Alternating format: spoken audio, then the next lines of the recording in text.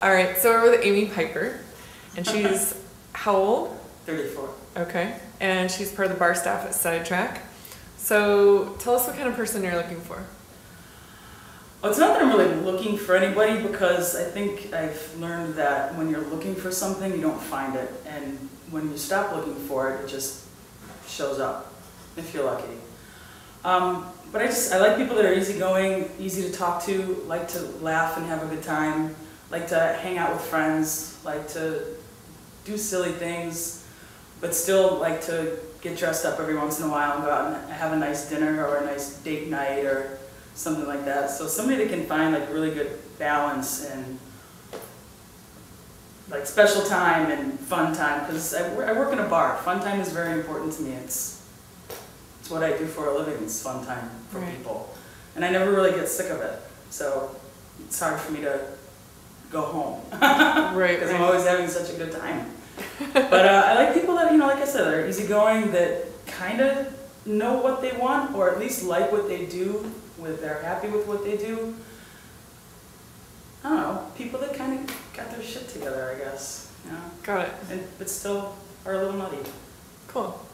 All right, so tell us what did you do on your last day off, or what do you typically do on a day off? Um, if I can get myself motivated, I'll just clean up my house a little bit.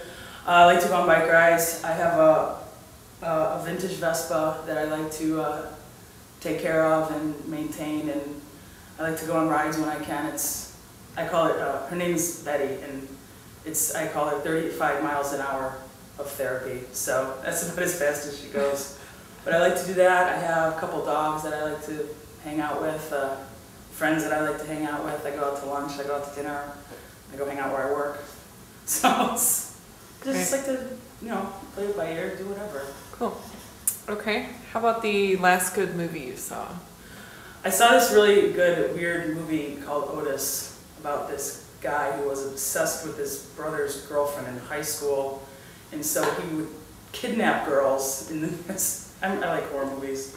He would kidnap girls in the neighborhood and just kind of torture them and make them speak in ways that they were his girlfriend and that they were going to go to prom with him, even though this was like a grown man, and he would put them in scenes, and it's weird, I know. He put them in scenes and scenarios where, like, she was a college, you know, the high school cheerleader, and he was a football star, and he would make the girls say certain things to him, like, just tell me how good I ran that ball, Kellyanne. And so it's like, even though, you know, and he would call the girls' parents and make them try to, he would talk to them like, I just want to, your acceptance that I'm going to take your daughter to prom, I just want to know that it's okay. It's, it was really weird, but Okay, entertaining.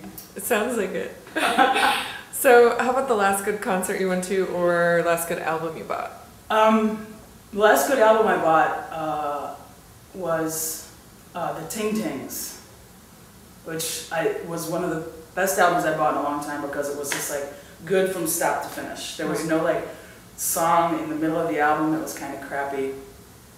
And I saw Tegan and Sara the other day, which they were great. The opening band was great. The guy in the middle was a buzzkill.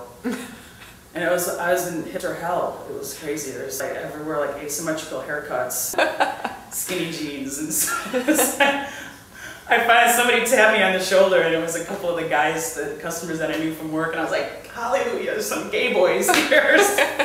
finally, I felt like I was the oldest one there.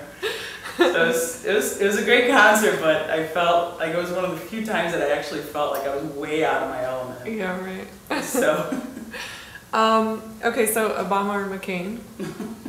hmm, Obama. Okay. um, beer or wine with food, and why? Depends on what kind of food. I think if it's pizza, then definitely beer all the way. Pabst Blue Ribbon in a can is is is what I drink. I'm not that fancy of a girl, but dinner, red wine and cocktails for sure. That's if you're gonna do it, might as well do it. Right.